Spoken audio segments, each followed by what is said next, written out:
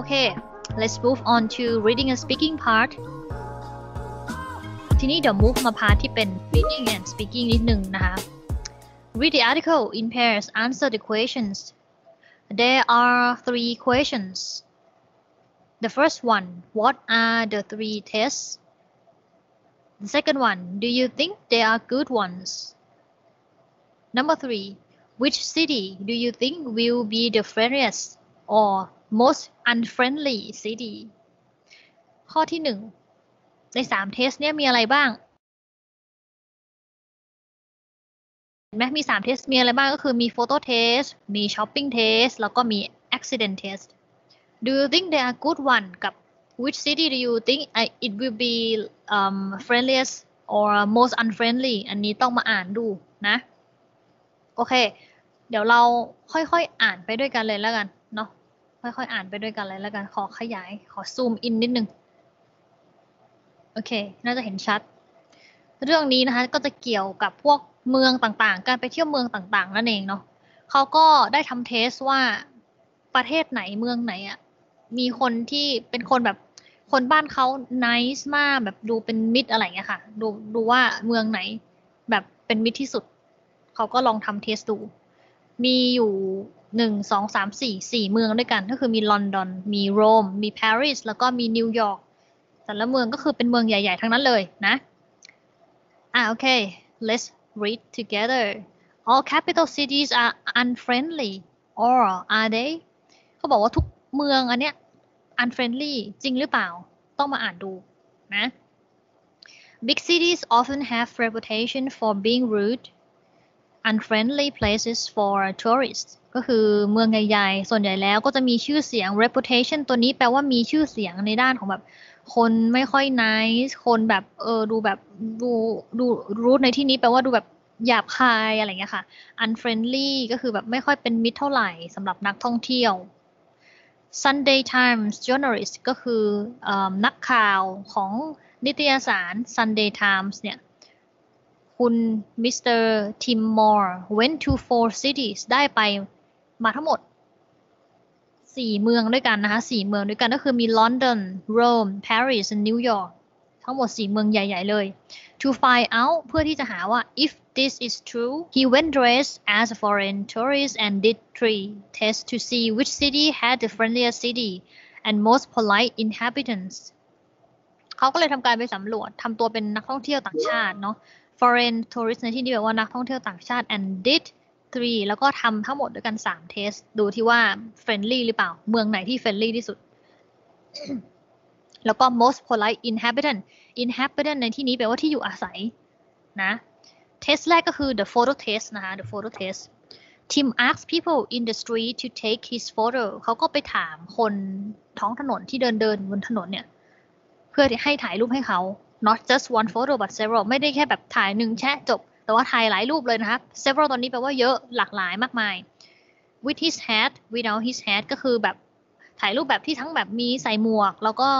ไม่ใส่หมวก ก็คือให้ถ่ายหลายรูปเลย did he find someone to do it เขาจะพบคนที่ทำแบบนี้ให้เขาไหมไหม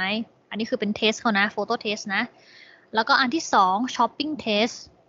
อืม shopping test Tim bought something in a shop and gave the shop assistant too much money ก็คือไปซื้ออะไรบางอย่างเนี่ยที่ที่ร้านค้าแล้วก็ให้เงินกับคนที่ขายแหละ assistant ที่แปลว่าผู้ช่วยเนาะผู้ช่วยขายอย่างเงี้ยให้เงินเกิน too much money did the shop assistant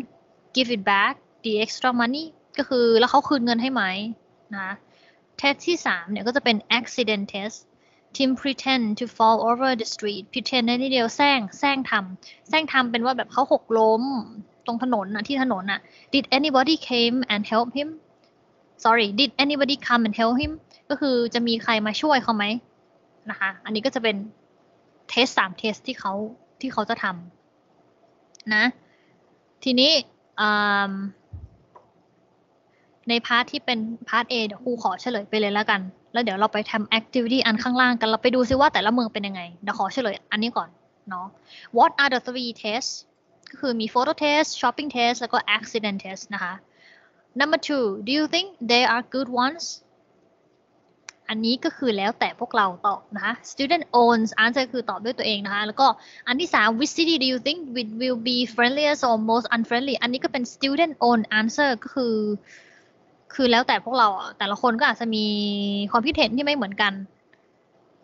โอเค ส่วนใน section ข้างล่างนี้นะคะ communication เนาะ the friendliest city A หน้า 102 แล้วก็หน้า 107 แล้วก็หน้า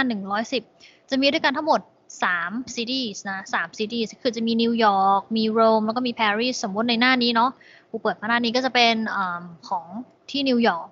ทีนี้อยากให้แต่ละคนเนี่ยไปอ่านมาว่าที่นิวยอร์กเป็นยังไง ที่โรมเป็นยังไง แล้วก็ที่ ในที่ปารีสเนี่ยเป็นยังไงเนี่ย อันนี้เมื่อกี้นิวยอร์กเนาะ อันนี้ก็จะเป็นเนี่ยค่ะ อันนี้ก็จะเป็นปารีสละปารีสก็จะเป็นอันนี้เนาะ ให้ไปอ่านมา แล้วเดี๋ยวครั้งหน้าที่เราเจอกันเนี่ย อยากให้เดี๋ยวอาจจะสุ่มถามนะ จะสุ่มถามพวกเราว่า แต่ละเมืองเนี่ยเป็นยังไงบ้าง แล้วพวกเราคิดว่า เมืองไหนที่ดู friendly ที่สุด เออ เมืองไหนที่ดูเป็นมิตรที่สุด ให้ไปอ่านมาแล้วก็ ลองเขียนเป็นคร่าวๆแล้วกันสรุปสักคร่าวๆว่าที่ปารีสเนี่ยเป็นยังไง มันเกิดอะไรขึ้นบ้างที่ปารีส มันเกิดอะไรขึ้นบ้างที่นิวยอร์กแล้วก็มันเกิดอะไรขึ้นบ้างที่ที่โรมนะคะที่โรม แล้วเดี๋ยวเรามาแชร์กันในคลาสครั้งหน้าเนาะใน part นี้นะ อันนี้ให้เป็นให้เป็น homework ของพวกเราเนาะคือไม่ต้องเขียนจริงจังขนาดนั้น แต่ว่าจะให้มา speak ครั้งหน้าว่าโอเค แต่ละเมืองอะมันเกิดอะไรขึ้นบ้างแล้วเราคิดว่า เมืองไหนที่ friendly ที่สุดเออแค่นี้เองนะคะ what happened in that city and number two which city in three cities that you have read is the most friendly city เนาะอันที่หนึ่งก็คือให้ไปสรุปให้หน่อยว่าแต่ละเมืองเกิดอะไรขึ้นบ้างสองก็คือให้เลือกมาจากทั้งสามเมืองเนี่ยว่าเมืองไหนที่มัน friendly ที่สุดในในความคิดเห็นของเรา in your own opinion and then we will share together in the class okay next time next time keep this one as your homework โอเค อันนี้เก็บเป็นพาร์ทเอ่อแกมมาเอ้ยเป็นพาร์ท homework ไปก่อนนะ เป็นพาร์ท homework ไปก่อนเนาะ next one next one เดี๋ยวขอไปต่อที่เป็น listening นะ ขอไปต่อที่เป็น listening นะคะ จะได้ไม่ช้า เมื่อกี้เราคุยกันไปถึงว่า all capital city are friendly อันนี้ใช่ไหม ก็จะมีลอนดอน มีโรม มีปารีส มีนิวยอร์กใช่ไหมคะ แล้วก็การบ้านข้างล่างจะมีแค่โรม ปารีส แล้วก็นิวยอร์กเนาะ แล้วก็อันนี้ในส่วนนี้จะแยกออกมาต่างหากเลย อันนี้เป็นเฉพาะของลอนดอนเลยนะ อันนี้เป็นเฉพาะของลอนดอนเขาบอกว่า now listen to Timor talking about what happened in London how well does London do in each test เราจะไปดูกันที่ part ของลอนดอนแบบ listening กันบ้าง เมื่อกี้ปารีส ปารีส นิวยอร์ก แล้วก็โรมคือให้อ่านเนาะ ส่วนลอนดอนเนี่ยมาฟังกันบ้างนะ มาฟังกันบ้าง มันก็จะมีเทสเนาะ มี photo test มีช้อปปิ้งเทส แล้วก็มีอ accident test ทีนี้เขาก็ถามว่าในโฟโต้เทสเนี่ย who did he ask first ใน audio เนี่ย Tim Moore เนี่ย คุณทิมคนเนี่ยที่ถ่ายถือกล้องถ่ายรูปเนี่ย เขาถามใคร what did the person say แล้วคนนั้นพูดว่าอะไร who did he ask next แล้วก็ถามใครต่อ เกิดอะไรขึ้นนะคะ อันนี้ในส่วนที่เป็นโฟโต้เทสนะ ส่วนที่สองก็คือ the shopping test นะคะ shopping test ก็คือ ทำเทสที่ร้านร้านค้าร้านหนึ่งเหมือนไปซื้อของอะไรเงี้ย where was the tourist shop เขาก็ถามเนาะ where was the tourist shop how much did the the bus and keyring cost how much did he give the man did he get the right change change ในที่นี้ไม่ได้แปลว่าเปลี่ยนแปลงแต่แปลว่าตังตังทอนเงินทอนนะคะ แล้วก็อันสุดท้าย the accident test ก็คือ where did he do the accident test ที่ไหน เกิดขึ้นที่ไหน Did anyone help him มีใครช่วยเขาไหม และสุดท้ายนะคะ What did the man say เขาพูดว่าอะไร อ่ะโอเค listen carefully okay listen carefully 2.45 First, I did the photo test. I was near Charing Cross Station. I stopped a man who was walking quite slowly down the road. And I said, Excuse me, could you take my photo? The man said, No, no, no time for that, and just continued walking. Then I asked a businessman in a grey suit who was walking towards the station. He took one photo, but when I asked him to take another one, he walked away quickly. Next, it was the shopping test. I went to a tourist shop in Oxford Street and I bought a key ring and a red bus. The red bus was very expensive. The total price was £40. I gave the man a £100. He gave me £60 back. Finally, it was time for the accident test. For this test, I went down into the tube, the London Underground. As I went down the stairs, I fell over and sat on the floor. A man immediately stopped and looked down at me. I thought he was going to help me, but he didn't. He just said, Why don't you look where you're going? โอเค พอฟังได้ไหมเอ่ย พอฟังได้ไหมคะ อาจจะพูดเร็วสักเล็กน้อยเนาะ ไม่เล็กน้อยมั้งถ้าบางถ้าบางคนที่อาจจะไม่คุ้นชินกับสำเนียงประมาณนี้ หรือว่าความเร็วสปีดประมาณนี้ก็อาจจะฟังยากนิดนึงนะคะ ให้พวกเราลองดูแล้วกันถ้า who ก็คือเป็นใครใช่ไหม ถ้าถาม how much ก็คือเป็นจำนวนหรือเป็นเออเป็นราคานะคะเป็นราคา where ก็คือสถานที่นะ ส่วน a man ก็คือคนคนไม่ใช่ไม่ใช่ไม่ใช่คุณทิมนะก็คือคนที่เขาไปถามอะค่ะเออ what did the man say คนที่เขาคุยด้วยนะ Okay, listen again, listen again, listen carefully. Okay, to answer all these 10 questions, and let's let's check it out together. อยากให้พวกเราค่อยๆ ฟังแล้วก็ค่อยๆ ฝึกลองตอบคำถาม พยายามตอบคำถามไปด้วยกันนะคะ เนื่องจากว่าเราจะมี listening test ด้วยนะ ฉะนั้นอยากให้ค่อยๆ ฝึกไปเรื่อยๆ พร้อมกันนะคะ Okay, listen one more time. 2.45. First, I did the photo test. I was near Charing Cross Station. I stopped a man who was walking quite slowly down the road, and I said, Excuse me, could you take my photo? The man said, No, no, no time for that, and just continued walking. Then I asked a businessman in a grey suit who was walking towards the station. He took one photo, but when I asked him to take another one, he walked away quickly. Next, it was the shopping test. I went to a tourist shop in Oxford Street and I bought a key ring and a red bus. The red bus was very expensive. The total price was £40. I gave the man a £100. He gave me £60 back. Finally, it was time for the accident test. For this test, I went down into the tube, the London Underground. As I went down the stairs, I fell over and sat on the floor. A man immediately stopped and looked down at me. I thought he was going to help me, but he didn't. He just said, Why don't you look where you're going?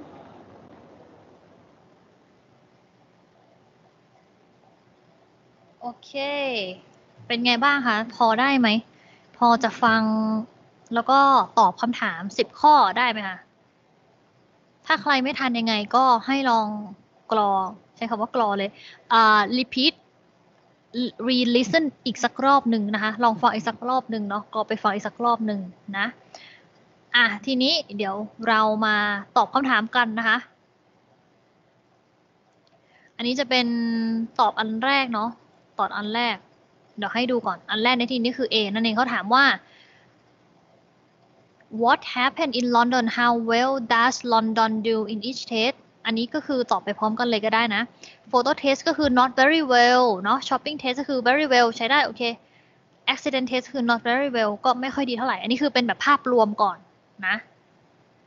โอเค ว่าเราพอฟังได้กันใช่ไหมคะ พอฟังได้อยู่นะ ถ้าไม่ทันยังไงให้ให้กลับไปฟังอีกครั้งหนึ่งนะคะ โอเคอะทีนี้เราลองมาตอบคำถามในพาร์ท B กันบ้างในพาร์ท B กันบ้าง มีทั้งหมด 10 ข้อเดี๋ยวเรามาดูกันนะ ว่าแต่ละคนเนี่ยจะถูกกันสักกี่ข้อนะคะ หรือว่าบางคนอาจจะถูก 10 ข้อเลยก็ได้นะ เออ 10 ข้อเลยก็ได้โอเค the photo test number one who did he ask first ก็คือ a man นะ a man ก็คือเขาผู้ชายคนหนึ่งอะไรเงี้ย a man เนาะ what did the person say แล้วผู้ชายคนนั้นพูดว่าอะไร พูดว่า no no no time no time no time for that ก็คือไม่ไม่ไม่มีเวลาถ่ายรูปให้นะ อันที่สาม who did he ask next what happened พอผู้ชายเจอผู้ชายแล้วก็ถามให้ถ่ายรูปอะเขาไม่ยอมถ่ายให้เพราะไม่มีเวลา คนถัดไปคนต่อไปที่เขาขอให้ถ่ายรูปให้ก็คือ a businessman นะฮะ a businessman ก็คือ he took one photo ก็คือโอเค ยอมถ่ายให้รูปนึง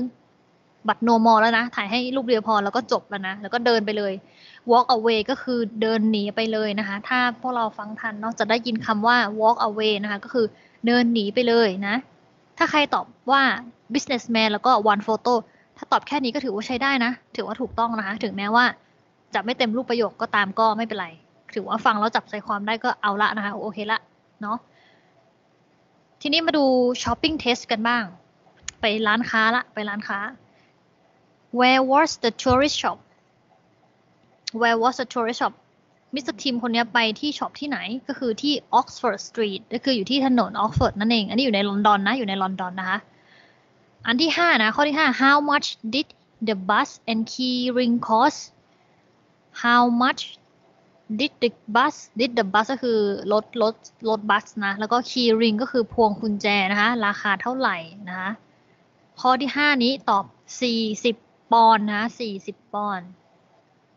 โอเค40 ปอนด์นะ ถ้าฟังตัวเลขทันนะ ข้อที่ 6 how much did he give the man แล้วผู้ชาย แล้วมิสเตอร์แล้วมิสเตอร์ทิมเนี่ย ให้ผู้ชายคนนี้ไปเท่าไหร่ ให้เงินไปเท่าไหร่ ก็คือให้ไป 100 ปอนด์นั่นเอง คือให้เกินอะเนาะให้เกิน ก็คือเขาตั้งใจนะ เขาตั้งใจเขาอยากทดสอบ เขาอยากทดสอบดูนะคะ แล้วก็ข้อสุดท้ายของใน shopping test did he get the right change again did he get the right change ก็คือเขาได้เงินทอน right แปลว่าถูกต้อง chain ในที่นี้แปลว่าเงินทอนหรือว่าตังทอนนั่นแหละ ไม่ได้แปลว่าเปลี่ยนแปลงนะ did he get the right chain เขาได้เงินทอนถูกต้องไหมเจ็ดก็เลยตอบว่า yes ได้เงินทอนครบถูกต้องนะ ทีนี้ move down to the accident test มาดู accident test กันบ้าง number eight where did he do the accident test เขาทำที่ไหนเอ่ย ก็คือ in the tube tube ในที่นี้บางคนอาจจะไม่รู้ว่าคืออะไร tube ในที่นี้ก็คือเป็นรถสาธารณะชนิดหนึ่งคล้ายๆกับเป็น underground หรือว่าเหมือนรถใต้ดินนะคะ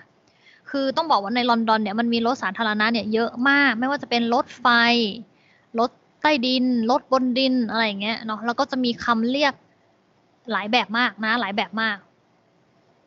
ถ้า overground over ที่แปลว่าข้างบนบน overground ก็จะแปลว่าบดลดบนดินนั่นเองเนาะเออลดบนดิน แล้วก็จะมี underground ก็คือรถใต้ดินรถใต้ดินรถใต้ดินในที่นี้เรียกอีกอย่างหนึ่งว่า tube ก็ได้นะ tube ก็ได้ ถ้ารถไฟก็คือ train ใช่ไหมรถไฟก็คือ train รถบัสก็คือรถบัสเนาะ ฉะนั้นเนี่ยในลอนดอนนั้นมันมีเยอะมากเลยนะ อาจจะสับสนเล็กน้อยเนาะ ถ้าข้อนี้ตอบไม่ได้ก็ไม่แปลกนะ ไม่แปลก เพราะว่าทิวบางคนอาจจะยังไม่คุ้นชินนะคะ โอเค ข้อที่ 9 did anyone help him แต่ว่าข้อที่ 8 ถ้าใครตอบถูกก็ very good เลยนะ excellent เลยนะ แสดงว่า you get idea นะคะ ข้อที่ 9 did anyone help him มีใครช่วยเขาไหม no ไม่มีใครช่วยเลย แล้วก็ข้อที่ 10 นะคะข้อที่ 10 What did the man say What did the man say ผู้ชายที่เขาไปเจอเนี่ยเขาบอกว่า Why don't you look where you are going คือไม่ช่วยไม่พอนะก็ยังแอบต่อว่าเล็ก ๆ นะคะว่าแล้วทำไมไม่ดูทางล่ะว่าจะไปไหนเนี่ยเออทำไมทำแบบเขาเขาแกล้งทำมิสเตอร์ทีมคนนี้เขาแกล้งทำเป็นว่าเขาหกล้มไง และไอ้ผู้ชายที่เขาไปเจอบอกว่า Why don't you look ทำไมคุณไม่มองให้มันดีๆล่ะ where you're going อะไรเงี้ยเออทำไมไม่มองให้ดีๆล่ะว่าคุณจะเดินไปไหนไปทางไหนอะไรเงี้ย ก็มีการต่อว่าเล็กๆนะคะเออมีการต่อว่าเล็กๆอะ so these are all the listening exercise okay these are all the listening exercise ประมาณนี้สำหรับใน listening exercise นะคะ